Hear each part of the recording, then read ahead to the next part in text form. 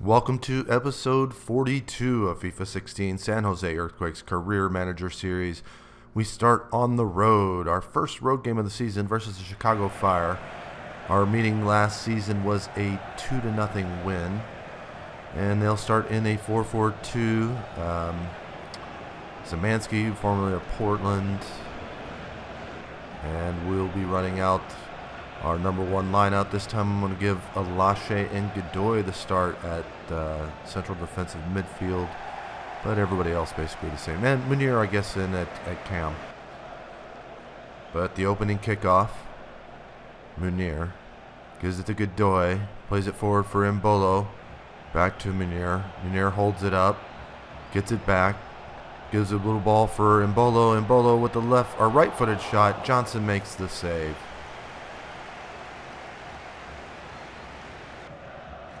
Munir, or Chicago gets a chance here. Zemanski, he's going to play it forward for Gilberto. Gilberto. Cochran makes a great run on. He has a shot, but can't get anything on it, Massett makes the save. Munir aggressive here in the early goings, enjoying his rare start. Godoy has it. Godoy plays a great through ball for Salinas, whose first touch isn't great, but he fires a shot. Johnson makes another great save. Still in the first. Thrown out from Massip to Salinas. Salinas to Munir. Munir's going to finish crossing the field. Turvest to Odegaard. Odegaard cuts it inside. Makes a great little solo run here. Odegaard cuts into the box. He's going to have a shot, forcing another save from Johnson. This time from the corner, Salinas will take it. He's going to send it in for a near post attempt. Silva tries to get a header on it, but it's just over the right hand corner. And then added time, still trying to get one.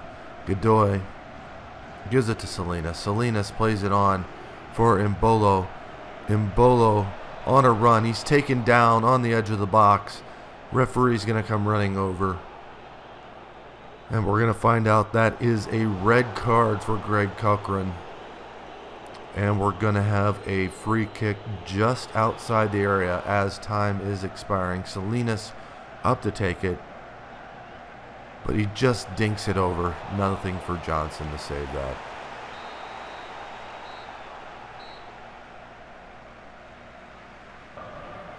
Start of the second half.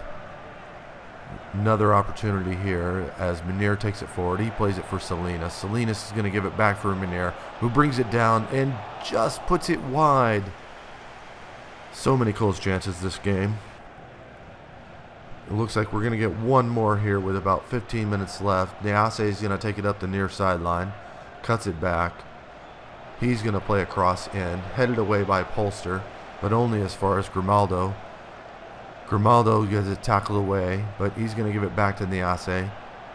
It finds its way to Embolo. He's going to fire a shot. Another great save from Johnson.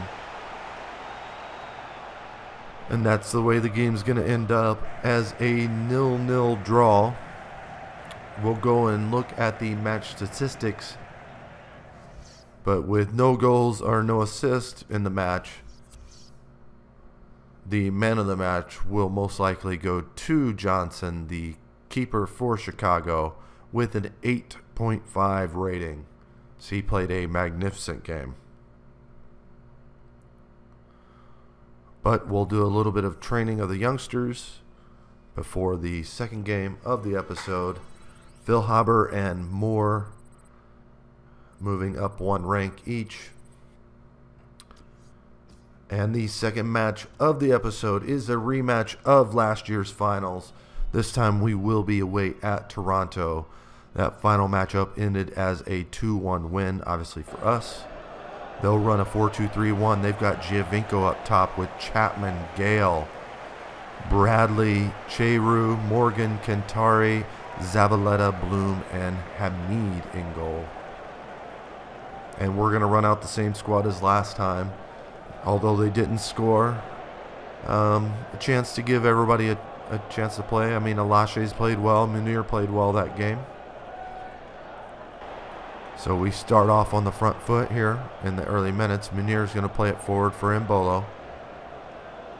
Embolo sees the run made by Alashe. Alashe is going to take it in the area, cuts it back, gives it to Mbolo. Embolo, it away, but Alashe's there. His shot forces an excellent save from Bill Hamid.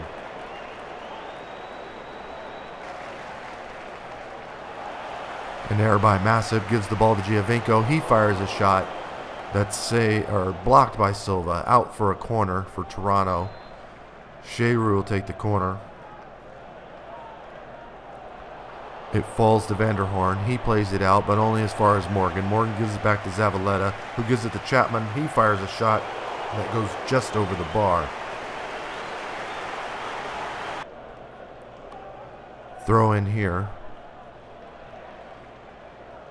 Odegaard plays it to Munir. Munir does a nice little solo effort, takes it into the box about eight yards out, forcing a nice save from Hamid.